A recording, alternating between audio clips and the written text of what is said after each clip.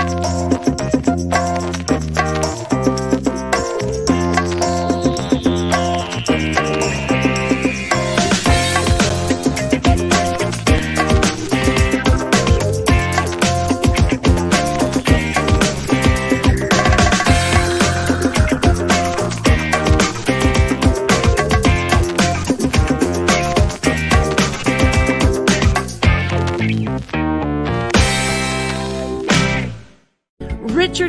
Skipper celebrates. Every show is a celebration.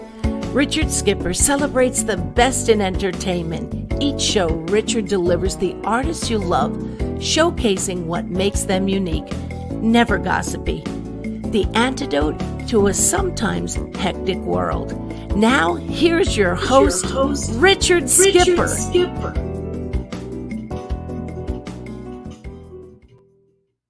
Happy Friday, everyone, and welcome to the latest edition of Richard Skipper Celebrates. What are you celebrating today? For those of you who are here for the first time, welcome. My show is about celebrating. It's about celebrating life, celebrating art, celebrating artists, celebrating whatever it is that you can find to celebrate. And I believe that if you take the time, there's something to celebrate in every corner of the world, no matter what. I am so excited to welcome to our show today David Leopold, who is the curator of the Al Hirschfeld Foundation. And I have to tell you, when I was a kid growing up in Conway, South Carolina, I was familiar with Al Hirschfeld. I used to go to the library. Uh, my parents would drop me off every Saturday afternoon. And my first stop would be to go to the New York Times. And I would grab the Times and I would go to the preceding week's New York Times and I would look for the Hirschfeld and especially at the beginning of the Broadway season, where he would have a compilation of all of these shows that would be coming in that season. And it was always very exciting for me. And then I learned about the hmm. Ninas. So that was an exciting thing to go in and count the Ninas and get there. I knew about this long before I came to New York. And then years later, I got the great pleasure of meeting Hirschfeld. I was introduced to him by my dear friend Carol Channing, and that was a great honor. And it's a great honor for me today to welcome David Leopold to the show. And before we delve into all the work that you're doing now, I want to say, first of all, besides what we're going to talk about today, what are you celebrating? Uh, well, I am just celebrating that I get to do this work for a living. Um, I'm celebrating all the people who love Hirschfeld's work and we find new ways of uh, sharing it with them, showing them things that they are looking for, and then showing them things that they didn't know existed. No, David, I want to ask you because I talked. I mean, I grew up in a, a small town, very small town Me in too. South Carolina. Where did you grow up? Uh, don't hold it against me, Harrisburg, Pennsylvania, and we. I was the same way as you. Sunday, my parents subscribed to the Times, and I was one of five children when the times hit the doorstep. It was a race to see who was going to be the first one. We we went right for the Hirschfelds and we were looking for Nina's. And it was a years before I finally said, "Who are these people he's drawing?" Mhm. And that started a whole new chapter in my life. So you're saying that originally you thought they were just drawings. You didn't realize that they were drawings of real, honest to God living people. I, I didn't really put any thought. I was eight or nine years old, and they just were fascinating to me. And my parents had, you know, it's like an initiation rite uh, when you learn about looking for Nina's. It's sort of like a initiation right into Broadway and show business in general. And we learned, you know, first it was just I want to find if it's in the hair or the dress or whatnot, and then we were like, who is this Rex Harrison person? And who is this Carol Channing? And who, you know, that was fascinating to me because they usually accompany, you know, by the time I started looking at Hirschfeld drawings, they almost always accompanied articles. So I would read the article more interested than if I just seen the headline. Yeah, Mhm. I want to know what what what can this tell me about this drawing? And uh, it was really the beginning of a lifelong, ongoing uh, fascination uh, with all things related to performing arts and really the visual arts as well. Now I learned something new about you today. Uh, I learned that you are a twin. All Um, my I, life. asked for a photograph of you at five years old. Right. Uh, you said you could not understand why. I'm going to show, first of all, the photograph. Now, did you figure out, is this you or is this your twin brother? No, that's what you have to understand is nobody knows.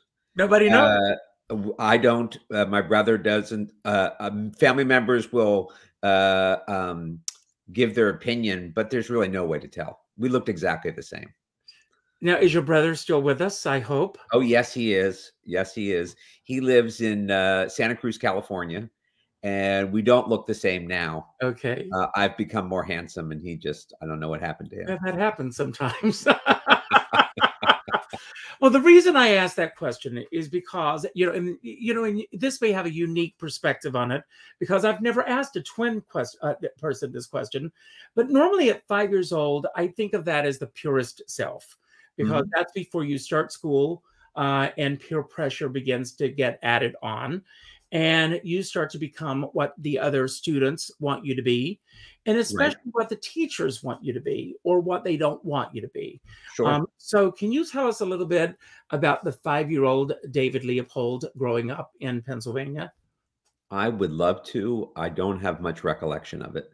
Um, my whole childhood is a wonderful sort of uh, collage of of really happy memories. Uh, I remember one time I was with Jules Feiffer and we were talking about something, and I said, Jules, you know, I'll never become a great artist or writer or anything. He says, What do you mean? You bring these books and you do this curating, and it's really wonderful. I said, Yeah, but I get along completely with my family. Uh, I love seeing my brothers and sisters. I'm close with my dad. My mom passed away about 15 years ago, mm. and uh, we're just a tight knit group. And we've always been that way. And it wasn't because we didn't have other friends. It's just that, you know, I was lucky to get the right parents, and we just had a great time all the time. That's yeah. wonderful. I love hearing that. That's that's great. But as you started going through school, did you have any aspirations of what you wanted to do with your life? And when did the art world start to uh, consume you or start to seep into your very being? Well, it, when I was a teenager, I really got. I started thinking a lot about the arts, music, and I, I you know, uh, I don't know about you. There was no theater. Theater was something you heard about um, there was some community theater going on in Harrisburg, but we never went to that. Mm-hmm. Um, I, my first Broadway show was in 1977. Frank Langella and Dracula. Wow. Uh, I went with a school group and it was fantastic. My second show was Dancin', you know, which I had no idea what I was going to. Mm-hmm. And now I only wish I could go back there and watch it again. you know, I just would be fascinated uh, to see it. Well, you might get a chance. I think they're going to bring it back to Broadway. They were scheduled to bring it back when uh, COVID hit, so sure. it still happens. Well, it, I'm, and I'm sure it'll be great. It won't be the same, of know, course, it won't. Of, of that production. And uh, when I first, you know, introduced to New York City, it was like the New York Times for me coming alive. I, I, you know, in I'm sure you were the same way in this regard.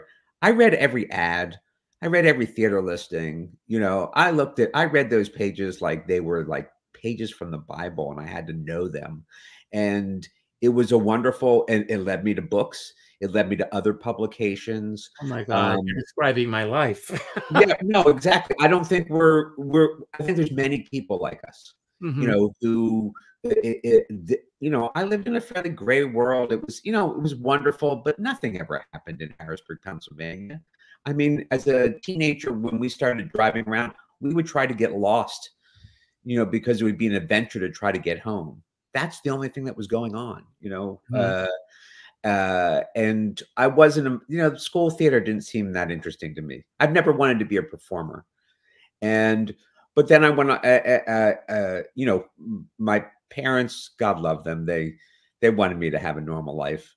Uh, they they didn't discourage my interest in the arts but they certainly were not encouraging and like, hey, you should do that. But I ended up going to school and getting a degree in theater history and administration. And I really thought I'd be running a small theater in the Bay Area. So I, am a really abject failure in that regard. Um, but luckily, I fell in with, I started curating in college, and that led to doing more work. Uh, and before I, I, I thought I was going to be a like a uh, managing director of a theater. And I was doing so many curatorial jobs that I realized, wait a second, I think I may be a curator. And then once I was conscious of it, then I started deciding, well, what do I want to do? Because I was just taking people would come to me and say, well, mm-hmm. could you do this or that? And so that's what I do now. Is um, I that's how I met Hirschfeld. Um, I was working on an exhibition for the New York Public Library on theatrical illustration. Well, it was even earlier. Uh, I was doing some research on the artist Ben Solowey, who did charcoal portraits from life uh, in the 1930s of uh, Broadway film, dance uh, for the Times and the Herald Tribune. And I noticed that the clippings often had Hirschfeld's on the other side, or if they weren't cut out completely, they had Hirschfeld's right next to it. And, you know, a light bulb went off. And I said, boy, I should mm-hmm. contact Hirschfeld. He was in the phone book. And I was too scared to call uh, because I thought, you know, I would have 16 functionaries who would tell me that I was not, you know, important enough to speak to the to the master. Uh, so I wrote him a letter, and he invited me next time I was in Fun City to come up and quaff some tea.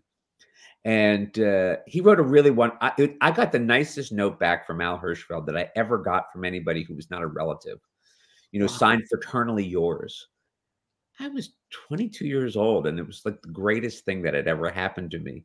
So, of course, I figured out some reason to come to New York. Uh, uh, um, I didn't need a reason. I had lots of research to do. I had uh, a woman that I was uh, dating who I eventually married and been married happily for 26 years. And uh, oh, thank you. Uh, so I called him up and said, I'm coming up. And he invited, we, we had uh, tea and cookies uh, at four o'clock, which was his thing. I met Dolly Haas, his wife, second wife, who he's married to for 51 years and I left there thinking, boy, I've hit it off with Al Hirschfeld. I'm such a, I must be doing all right. I later discovered that everybody hit it off with Al Hirschfeld. He was just that kind of guy. You met him. Yes.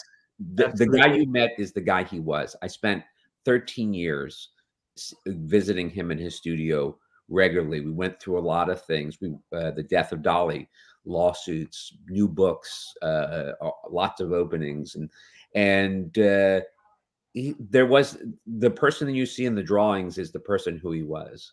Mm-hmm. You know, they're an accurate reflection of who he was as an individual. But I want to go back for a moment. The love of the theater. Mm-hmm. What was it that drew you? I mean, you you had no desire to be an entertainer yourself, um, and there are people who love going to the theater uh, for a lot of reasons. We know the right reasons to go to the theater, but it was deeper than that for you what was that pull for you that uh, you had that love of the theater? I love live performance. I just there's being in the room, you know, to coin a phrase, the room where it happens. Where it uh, happens, uh, yes, uh, has always been. I, I, went to I went back to my first Broadway show uh, back uh, last night. I saw the Girl from the North Country. Totally recommend it to everybody. Lights go down. I'm there. I'm so excited. I've never lost that excitement. I I I mm-hmm. have a joy. It brings me joy. I don't. I can't.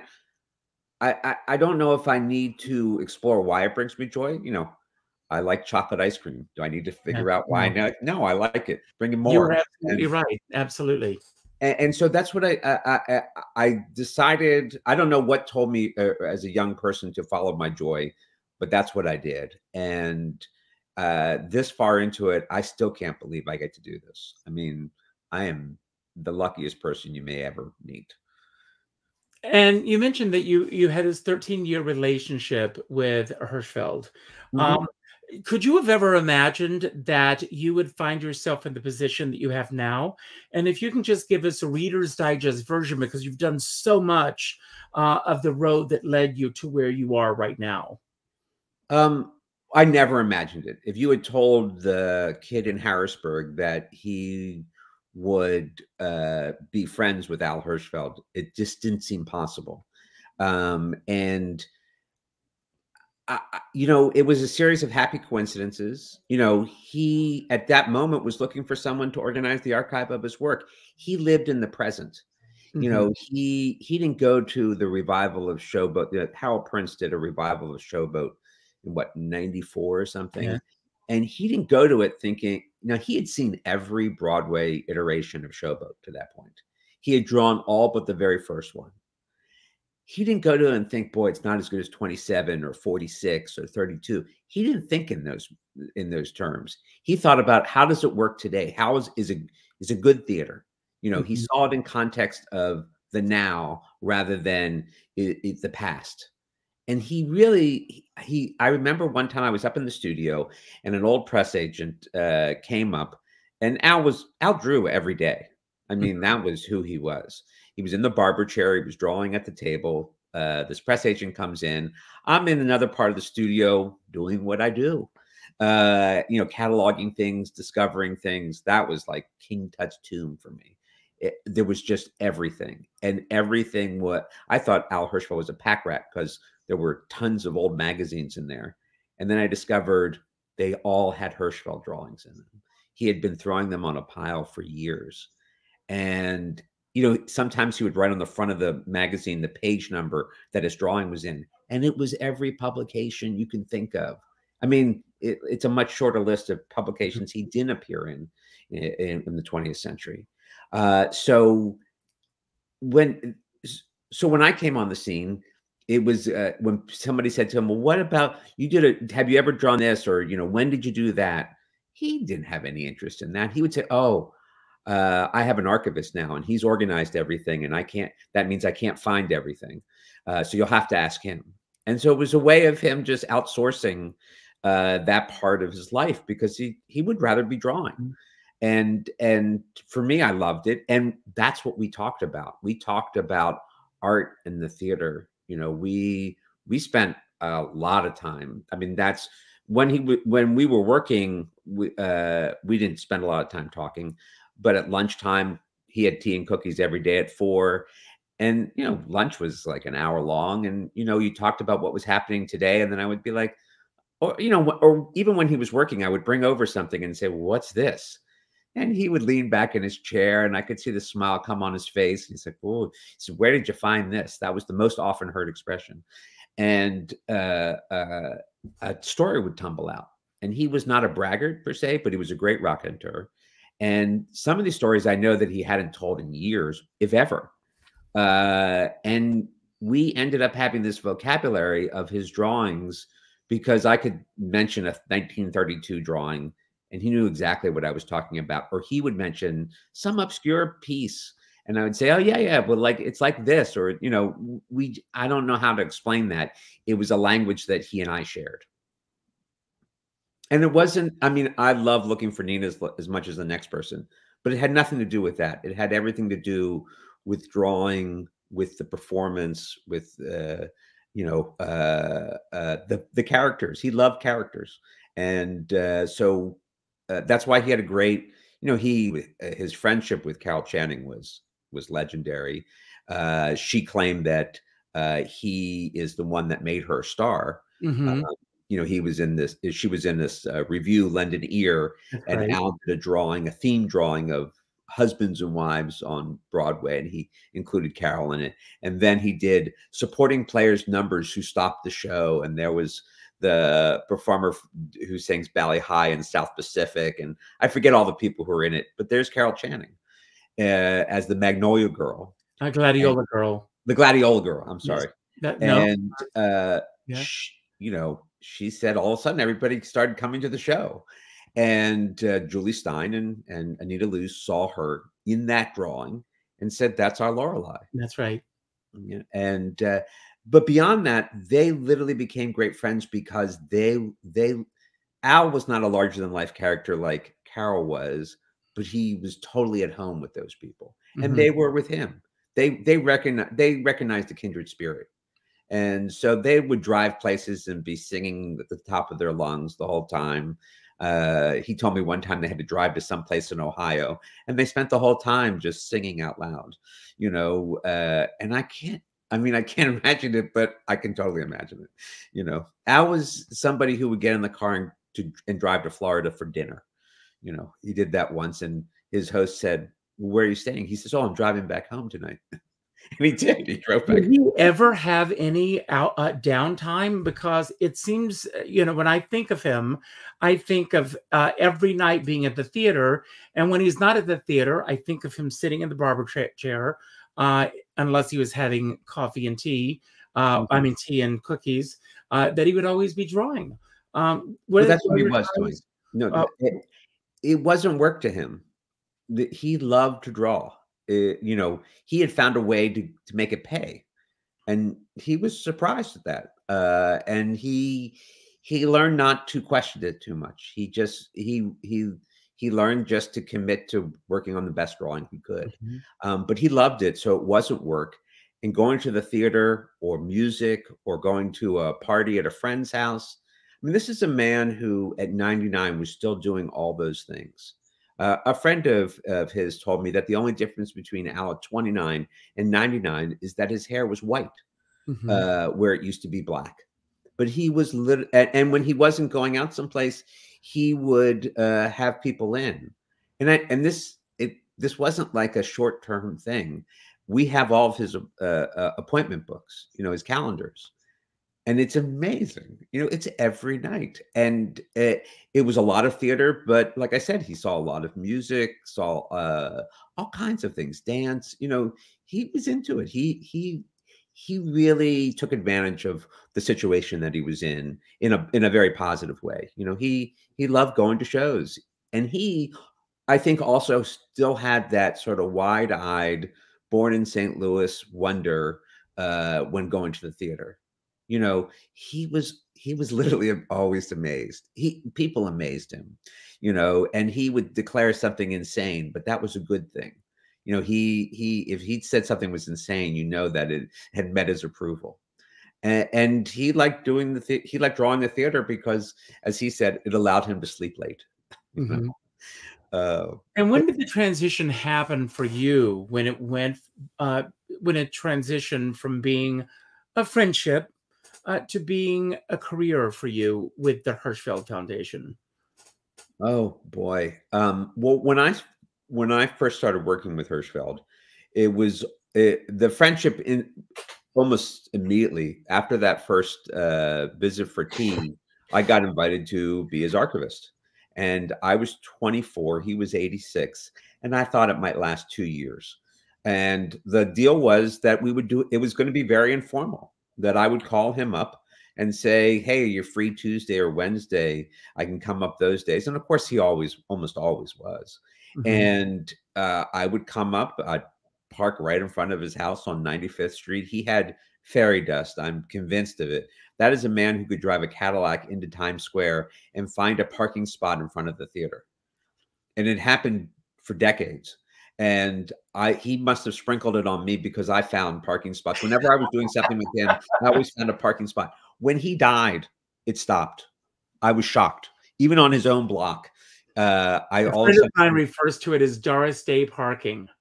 no, because in all of her movies, if she's driving a car, she would pull up in front of a building, get out of the car. Yes. Uh, never in front of a meet. Uh, there was never a parking meter or uh, a fire hydrant ever she would pull up in front of a building, get out of the car, walk up, and that's exactly what you're describing right now. yeah.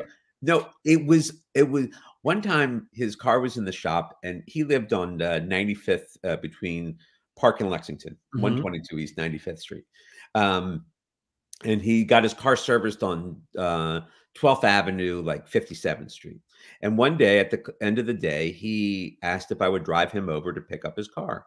And uh, I said, yeah, sure. And so we drove over there, and it's what's so what was so amazing about driving around with Al is we'd see something, and that would start a story. You know, I would ask him a question. I'm like, oh, what about? And he would tell me some funny stories. So we're laughing the whole way over there. And we get to 57th Street, which is four lanes. Uh, and I'm on the opposite side of the street of the garage. And I said, well, look, let me turn around so I can drop you off right in front. He's like, oh, don't worry. And he opens up the door. It's four lanes of traffic. This was like five o'clock. It's very busy and the traffic's moving. It's not backed up. It's moving. And Al Hirschfeld walked across the, the, the street. I saw this. He walked it like Mr. Magoo. Cars whizzing by, and he just seemed to I walk can through it. see it happening. Yeah. And this, you know, it was like watching Santa Claus cross the street. It was just not to be believed. Um, and that was that was Al. You know, he could go to the corner and come back and have a great story to tell. Uh, just because uh, William Saroyan one time said that wherever Al went, somebody was always trying to offer him the key to something. And he was kind of right. I mean, a- he had this kind of charisma that attracted people. And Carol was well, Carol Channing, of course. I mean, anywhere you Of went, course. anywhere with her, it was the same thing. Uh, did you uh, ever go to the theater with him? I was at shows that he was at, but we never went together because, you know, uh, even in the year between Dolly and when he married Louise Kerz, Mhm. You know, he was the most eligible bachelor in New York. Uh, Mhm. There were all of his women who would have loved to be the next Mrs. Al Hirschfeld. And not, I mean, he was 95 at the time. He, he, the idea that he would be looking for somebody, he wasn't really, but then he needed uh, someone. He, he, he was a, he was a very social person and needed a companion. And uh, he had known Louise for years. So I never went to the theater with him, but when we were at shows together, when we, we were at shows that we both ended up at, sometimes to our surprise, because we didn't say, "Oh, I'm going to this tonight" or "I'm going to that tonight." Mhm. Uh, um, we would see each other, and it was always like, "Oh, you know, fancy meeting you here. And uh, so uh, we, and then of course we'd always talk about the next day. You know, eh, you know, I remember like Carol's last time doing Hello Dolly in New York. I was up having lunch the next day at the house, and I said, "Well, how was she?" She said, "Oh," he said, "As soon as she came on stage, you knew you were in safe hands." You know, and I was thought, okay, you know, how many times he had seen Carol do Hello Dolly? Probably dozens. Mhm. You know, in every iteration uh, uh, that she had ever done it, and there he was seeing it again, and it was like the first time he had seen it. And did you ever go out socially beyond uh, going to the theater? I mean, you, you running running into each other at the theater, but did you ever have social occasions that you were at a party or an event together? Um, you know, I look back on it now, and I was pretty young, and being pretty young in New York, even with someone like Hirschfeld, he was pretty old, Mhm. and he was doing things that older people did, and I was doing things that younger people did, and like I said, we would exchange notes when we would see each other, uh, but it wasn't until much later uh, that, uh, like, if I was in town for a while. I didn't my I had sublet my apartment and he would find out that you know I was going to stay over at, a friend's place or something. He's like, "Why don't you stay here?" And so I would stay at the house, uh, or or we'd go out to dinner, or but you know it was our lunches, and I mean I have the record for the most free lunches at the home of Al Hirschfeld. Very Mm. proud of that. Uh, very good food served there. I would recommend it to all my friends, and uh, and then sometimes I would bring people to if I met somebody interesting that I thought would abuse Al, I would bring them. I would say, you know, can I invite a friend to lunch? And of course, he was always game. You, I mean, you know, Al. People excited Al Hirschfeld. He was into it, and uh, uh, and then sometimes I would meet somebody well known, and I would think, oh, they'd like to meet Al Hirschfeld, and Al would probably like to meet them. I remember bringing Stanley Tucci up to Mm. Al's uh, house for lunch when he when Stanley did um, the uh, uh, the Joe Gould movie, um, and this is oh I don't know uh, mid '90s, Mhm. And Al was I don't I don't know if you know who Joe Gould was. Yes. yeah. Okay. Uh, you know, Cla- Professor Sea Gull, Mhm. a man who was writing the history of the United States based on overheard conversation. And uh, he supported himself by getting a dollar each week from 50 different people. One of those people was Al Hirschfeld. And uh, and Al would usually invite him in for dinner because, sure, why not? You know, it's just a character that he would have. And of course, Gould always had some funny story, you know, some crazy thing that had happened to him. And I and I said to Stanley, I said, "Would you like to meet somebody who knew Joe Gould?" Yeah. Oh, yeah. I love that. And I said, "It's Al Hirschfeld." He's like, "You're kidding." And what was so funny when I would bring somebody like uh, Stanley up there, they would turn into fanboys. Mm-hmm. You know, they would often have a book or two with them. You know, Mr. Hirschfeld, could you sign this? You know, and of course, Al was always completely game for it. You know, and we'd go up to the studio and because uh, the studio's on the top floor of his house, and uh, you know, he would it was a fun time. And then, you know, inevitably, once the person was there for a while, Al would get back to drawing and we'd still keep talking. And people were amazed that he could keep up his end of the conversation while he was producing, you know, a great work of art. But that's who Al was. Um, I'd started to tell you about this old press agent that had come up to see Al. Uh, he he was up there and he was reminiscing with all these crazy things that the two of them had done and people that they had known. And after about an hour, the guy left. And Al, in all seriousness, turns to me and he says, I don't get these guys who just want to think about the past. Like he was perplexed by it. And he went back to drawing because that wasn't who he was. His he mm-hmm. was interested in what was happening then. He saw all of his friends, you know, rise, have their moment and decline. And he just kept going. He just kept on having, you know, this is a man who had an audience in the millions when he was 25 and he only got more popular, all while doing it completely on his own terms. You know, uh, he, you know, he said that he didn't really understand why people like the work because when he first started doing it, you know, he said editors would complain. And then all of a sudden he got accolades and it was the same drawings that he was doing. Uh, so, you know, he he just learned to trust him his himself is really what it well this amazing you know and i and i think of it as alchemy i mean it couldn't be anything but i mean his relationship at the time with the new york times and you talk about it i talked about it in my introduction mm-hmm. of you know all across the country um, kids growing up at the time that we grew up grabbing the new york times on right. a sunday seeing those caricatures in the new york times um, we don't have anything like that now. Um, it's true. I think everybody knew more about Broadway during Al's career than at any other time because everybody looked at the drawings and they were the drawings of a show that was going to open that week. I mean, you have to remember when Al drew Guys and Dolls, he didn't know if it was going to be a big hit or a flop. And that wasn't important to him. That's not what he, he wasn't there to judge. But his drawings appeared the Sunday before it opened. Mm-hmm. So, you know, there's great drawings of shows you've never heard of, but they're great drawings. Uh, and so, you know, uh, I've lost my train of thought. I apologize. No, that's um, right. I mean, we're uh, we're talking about uh, the impact that he had on theater kids uh, around the country, or people who had this love of theater. Uh, and I'm also uh, certain that those drawings impacted ticket sales uh, of people coming to New York because they knew uh, from a Hirschfeld drawing, uh, it didn't matter whether it was a hit or not. Hirschfeld drew it. Right. It looked interesting. I want to go. And I and Broadway doesn't have that. And I love Squigs and Ken Fallin, and they're they're fantastic. Uh, don't get me wrong. They don't have the platform. You know, Al was lucky to have a career at the time of sort of the golden age of illustration. Um, and we think of his work in the Times, and he was in that paper on average every other week for 75 years. Mm-hmm. That represents less than half the work he did. You know, while we were seeing him in the Times, we were also seeing him on record covers, on TV guides. You'd pick up a magazine, there'd be a Hirschfeld. I mean, we lived in a great age where, you know, you would really have to go out of your way not to see a Hirschfeld.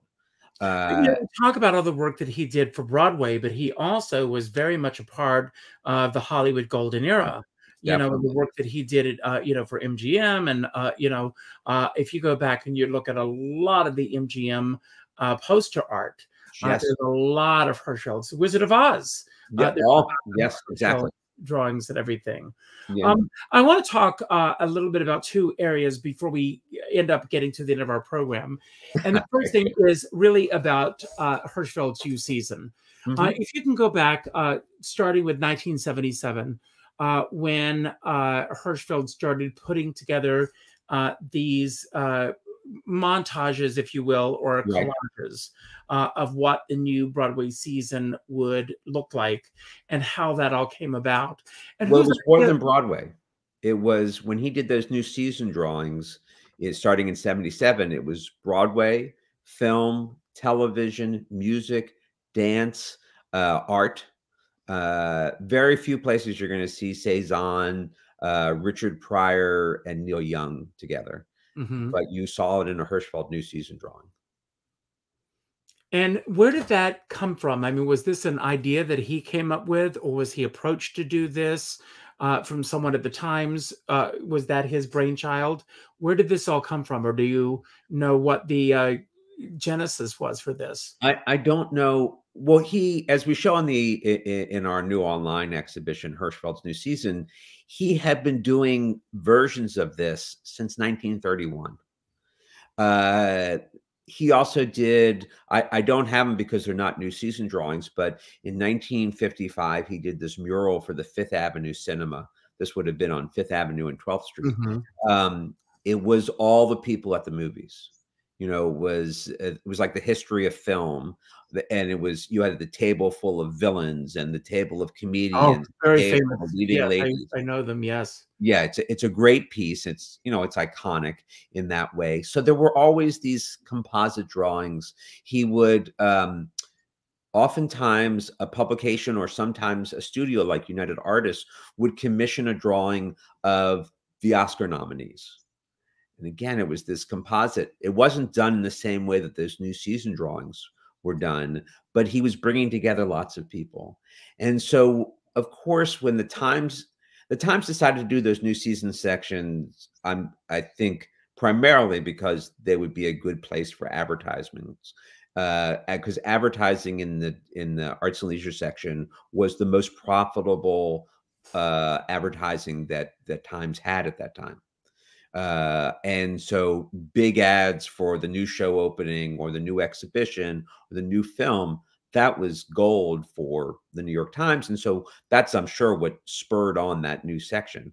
Well, if you're going to talk about the arts and you're the New York Times, who else would you go to? Um, and when they gave him the first assignment, they didn't tell him, you didn't tell Hirschfeld what to do. There was no point in telling her. Uh, in, in fact, when I would see uh, our art directors sometimes give, you know, they would tell Al very specific things, and he would look at the note and he would say, "Well, I'm not doing that," and and he would go ahead and do what he wanted. Or if he did what they wanted, it was never as good as what he would have wanted to do. And if you look at those new season drawings, those are really remarkable portraits that are fully integrated in with everything else. You know, they're they're like uh, threads in a tapestry. Individually, they're beautiful. Together, they're even more beautiful.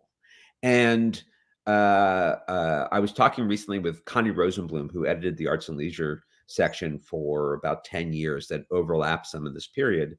And she said it was always a huge topic of discussion of what names they would give out. Uh, and they were all ridiculously excited to see what would come out. Mm. You know, um, and that was true of almost all the drawings. Uh, that he did for the Times. The arrival of the Hirschfeld drawing at the New York Times was a time that everyone stopped and went to take a look at it to see, you know, maybe they, a lot of those people counted Nina's from the original drawing, you know, uh, and uh, and so everyone would look at it and then they would take it to be photographed. The Times was so scared that something would happen to the drawing that they would make full size reproductions of it almost as soon as they got it. And the great thing for us is that when they returned the drawing to Al, they would often give him the reproductions that they had made. So we have these full size vintage reproductions of oh, thousands of drawings from about 1955 to about 1997. And, and then after that, it was all digital and of course he's irreplaceable let's just let's just i mean with all due respect to everyone else who does this you mentioned uh, squigs and ken fallin uh, mm-hmm. uh, both i who i'm huge fans of right uh, but once uh, hirschfeld was no longer doing his work uh, and he you know passed on um, there was never a continuation of that tradition no. in the new york times um, or, or anywhere else you know, there's like Hirschfeld beforehand. He came up during a Vogue for caricature, but within a few years, he was caricature. You know, in, in mid-century uh, America, if you wanted something like a caricature, you called Hirschfeld. And if he couldn't do it, you called somebody else. But literally, he so dominated the field. And he was a relative latecomer to caricature. You know, uh, caricature and, and the caricature that he did was not the boardwalk caricature. You know, it wasn't pejorative. It wasn't poking fun at, I mean, humor was involved, but it wasn't at the expense of the subject. It was if it was a comedy, it was a fun drawing. Mhm. You know, i- if it was a drama, you know, when you look at Long Day's Journey Night, it's not it's not pulling its leg. It it, it was very sincere in its appreciation of what he was seeing, and he really was a visual journalist. Uh, and when he would go to see shows out of town or in previews, he was so focused on what was going on on stage, he didn't know what was actually going on in the show. He was looking for movement and and gesture that would make that would be the identifying moments of the show. You know, because he would do these cast drawings that are full of all this activity, never told you the plot. You know, didn't ruin anything. There were no spoiler alerts required for Hirschfeld's work, yet you felt like you were seeing the show. Absolutely. Well, I have to ask you. I have a few friends who actually commissioned him uh, Mm, to do uh, uh, Hirschfeld Sure. themselves, uh, and they're hanging in their living rooms. right. You have a Hirschfeld. Do I have I do not have a Hirschfeld. And that is my my fault, not Al's fault.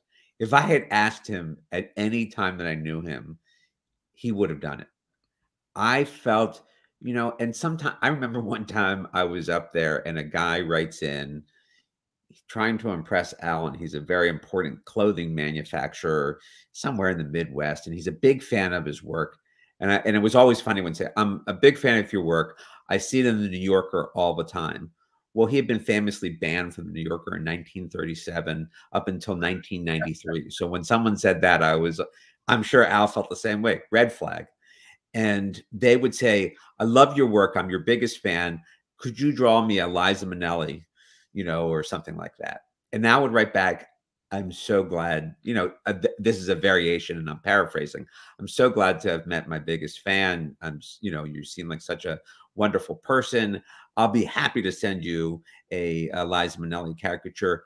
I would like a suit in blue and one in brown, you know. And of course, they they would. I know what the reaction was on the other end, just like he knew. They would be like, "Well, you know, that costs money." Of course. you know uh, uh, so i never wanted to be one of those people uh, uh, the only argument i ever got into with al hirschfeld was over drawing i had had a good year and i decided hey i want a hirschfeld drawing not necessarily of myself i'm, uh, I'm not vain in that regard but i would see i mean i held in my hand incredible drawings all the time and there was this one from a show you've never heard of called The Show Is On. It's just a it's a pas de deux. It's a great, great image. And I knew that he liked it. It was in several of his books. And I had a good year and I uh, I brought the drawing over to the drawing table. I said, listen, I'd like to buy this. You tell me what the price is. I think I can afford to buy it, but if I can't, I will pay. Uh, uh, I'll pay in installments. You keep the drawing, and you know he, he takes a look at it. He's like, "Oh, this is a nice drawing," and I'm thinking, "My the price just went up. I'm screwed." And he's like, "I want you to have it." I said, uh, "Al, I can't take it. You know, I do a lot of work with museums. I've done a lot of museum shows of Al's work. You can't profit from it. If you were, that would compromise me to a museum person." And I, I explained this to him. He's like, "Well, I want you to have it." And I, I can't take it. No, you must take it. I can't take it. You must. We were almost raising our voices. Louise came in and said, "Boys, what's going on here?" And uh, he said, "David's gone crazy. He won't take my gift." And she says, "Well, it's decided then. You'll take the gift." and I did. I mean, it was it was really. uh, and where does it hang in your house? Oh, it hangs right where I can see it every day Oh, on the great. first floor. I have I have a couple of original Hirschfeld drawings. Some one I that one I got from him, but I bought others over the years. And uh, actually, he that's not true. I have a Hirschfeld watercolor that he gave me. I have a couple of prints that he gave me. Um, you know, he was a very he was very generous with me and with everybody, and because he was you can see by his drawings he's a generous guy. You know, he he would he would highlight people like Carol who were supporting players, but to him, they were as important as anybody else in the production. That's right. And that's a very important thing to point out. And I'm glad you did that. Um, again, before we run out, this incredible exhibit is online for anyone to be able to go and watch. Um, and and all the details are going to be right on YouTube. Uh, watch this video; it's right underneath. Um, was this your idea to do this online this season, or? Yes, um, I wanted to do. You know, when we started, uh, we're a pandemic success story. Uh, when the pandemic started, we knew that we would not have the ability to do shows. I, I knew pretty much right away that this was not this was not the uh, end of something it was the beginning of something and it was going to go on for a while. And i actually thought we were going to have to close down the foundation. And the board said no we want you to keep working. So within three weeks of the broadway shutdown we had uh, created this digital platform to present exhibitions.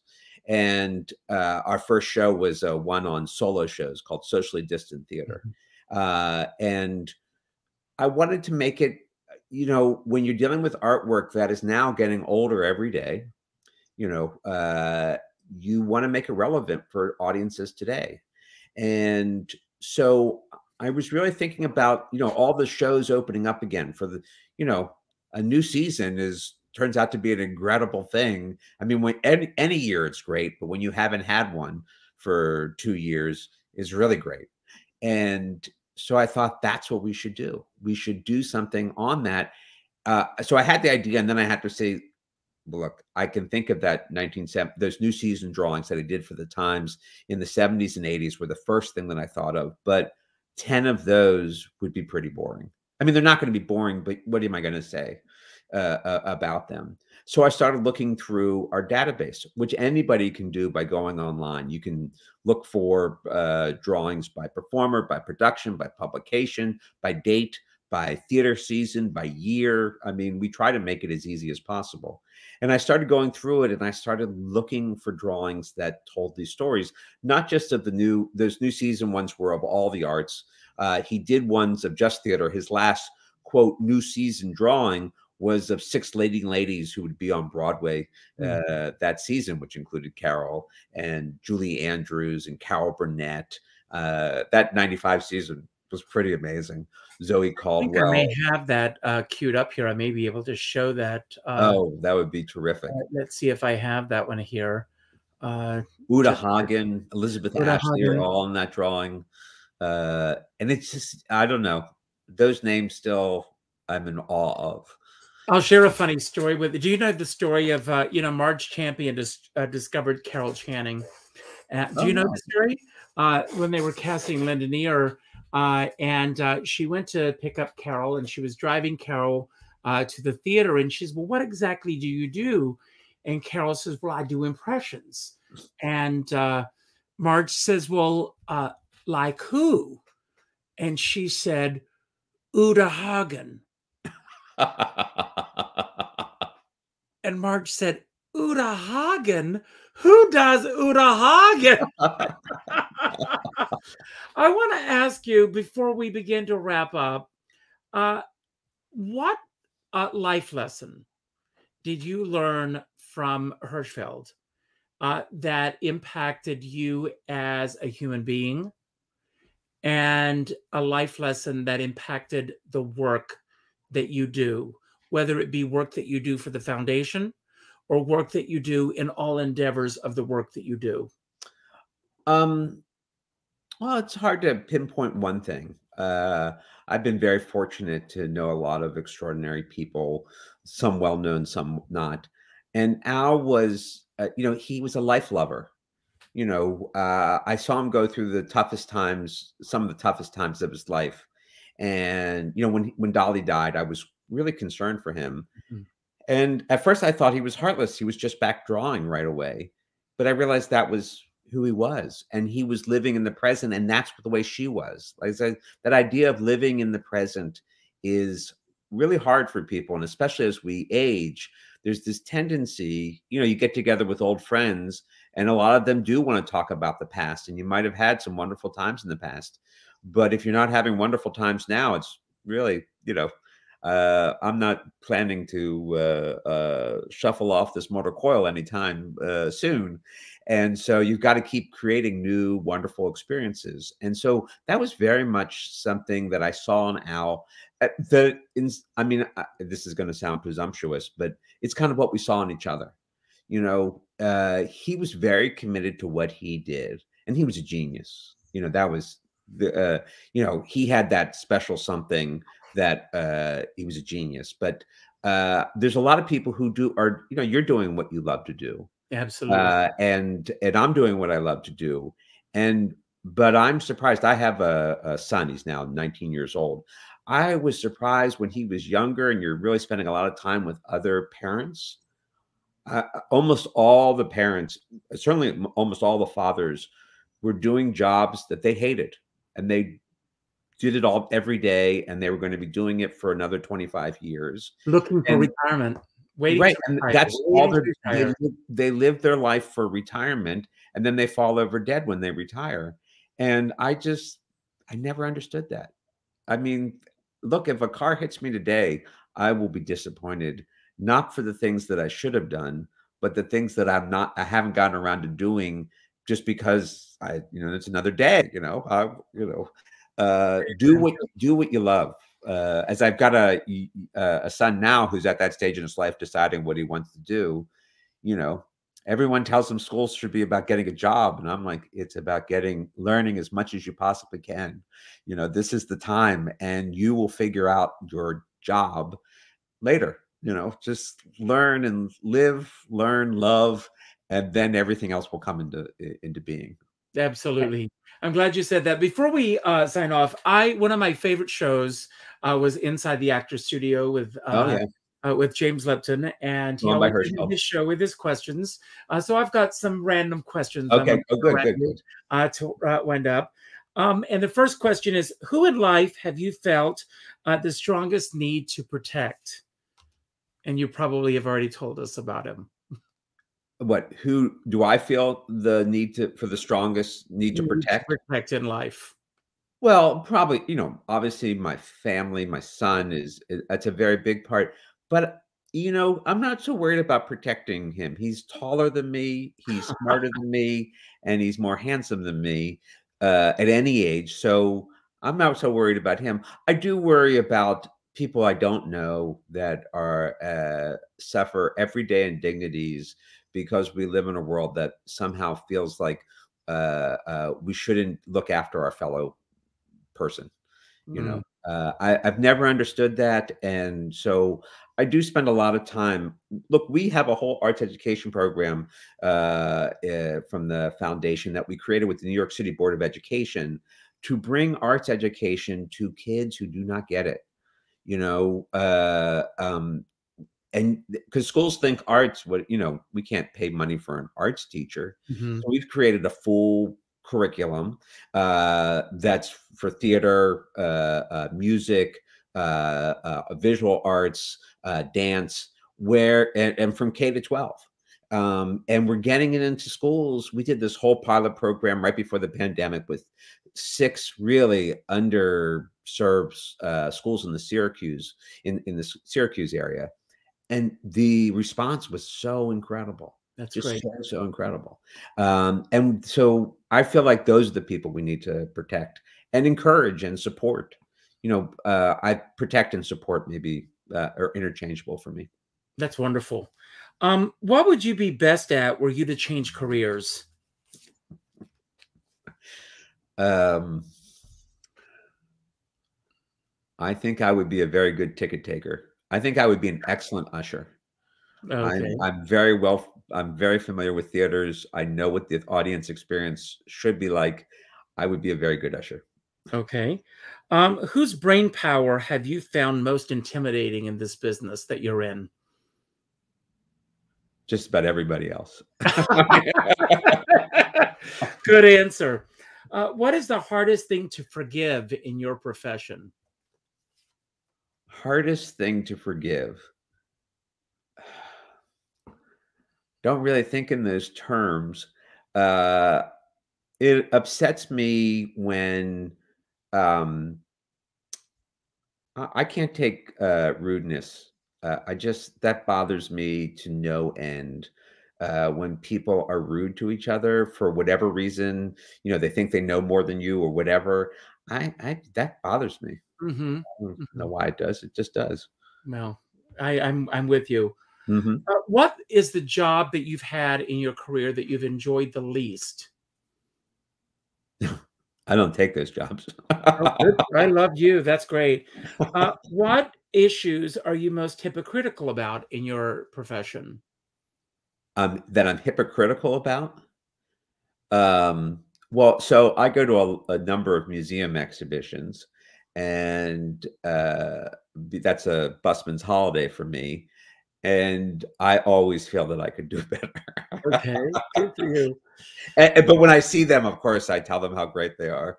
But I often wonder, like, why did you do that? And I would have put it over here, and you know that type of thing. What is the one thing about your profession that you love the most? Well, uh, it, uh, uh, creating something that people that people love. You know, when I g- uh, whether it's an online exhibition or an in-person exhibition, when you can gather together art that uh, will inspire uh, or um, validate somebody, that is a great, great feeling. Um, I, I, you know, I'm behind the artist because the artist really is done done that. But when I put it all together, and sometimes I've got a show on right now of a regional painter uh, in a museum in Pennsylvania, and it's very, very satisfying to me that the show is exact. He didn't know how the show was going to be, and I had this with Hirschfeld. They didn't know how the show was going to be, but when it's all put together, they're like, "Oh, I wouldn't have done this any other way." And you know, and that's a great feeling and something I love to do. That's wonderful. Uh, what do you think is the best thing about your profession? And perhaps you've just answered that question. I think I just answered it. Yes. I, And this is I the hope I last. the last question. yes, and I'm gonna. Uh, you have, and I'm, this is the last question I'm going to ask. What is the one thing about your work that uh, makes you the proudest? And perhaps you've answered that as well. Well, yes, all those things that I said. Uh, I, I'm, uh, uh, and then there's the also the other group of uh, artists that I work with are the the historic artists, the ones who are no longer here. Where I'll work. Uh, I like do. I I'm never going to do a Picasso show. Not that I wouldn't want to do it and maybe even have something to say, but Picasso doesn't need me. Uh, but the underappreciated artists that have had a career and passed away and are forgotten to bring them back to life and just as importantly to have their family see the validation of people appreciating their father typically or the grandfather sometimes a mother or grandmother. Um, it is that's a great great uh that some of the happiest times that i've had um because they you know they know it's been great they just didn't have a way to to share it with others That's great. David, don't go anywhere for a moment. Um, I want to thank everybody that uh, tuned in today. Um, Sure. I'm sure I can speak for David when I say this. Uh, those of us who do what we do uh, in the arts, uh, we don't take it lightly when you decide to spend a little time with us. Uh, so thank you uh, for spending the last hour with us. If you popped in for a few minutes, uh, if you spent the whole hour with us, thank you uh, for and stopping you're still by awake and you're still awake. Um, no, I truly had a great time. I hope you had as much fun, David, I as I did. did. Um, if this was your first time here, uh, there's a little button on my banner and it says join the celebration. I got rid of the word subscribe because to me, the word subscribe is a faceless uh, Right. uh, entity. And I think of this as a celebration. I've celebrated over 300 other artists, and hopefully there'll be 300 more, including David, uh, that will uh, celebrate even more. Um, please hit the join the celebration button. Uh, leave a comment on today's show. Uh, share this with your friends and followers. Please check out Hirschfeld's new season. Uh, it- it's great. It's really a lot of fun.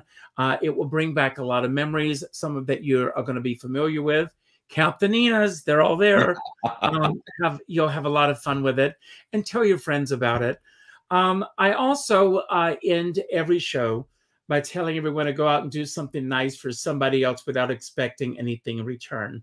Uh, go to your Facebook friends list and reach out to the third name on your list and reach out with a phone call, not an email message, not a text message, right. not a private inbox message, a phone call, and let that person know what they mean to you.